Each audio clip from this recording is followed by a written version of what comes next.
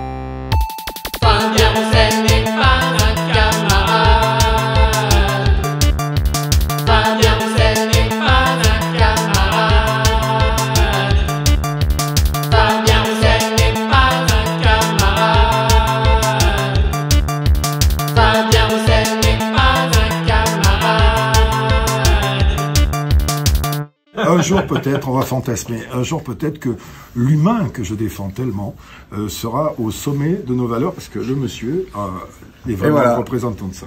Et avec un représentant de l'être humain. Alors lui, c'est le champion des humains. Voilà. Et ben voilà. Et ensemble, on Voilà. s'aime. Mais on va pas, par contre, on va pas bouffer du tofu. Et- ça les gonfle un peu, mais on va continuer à bouffer de la viande et à boire des coups.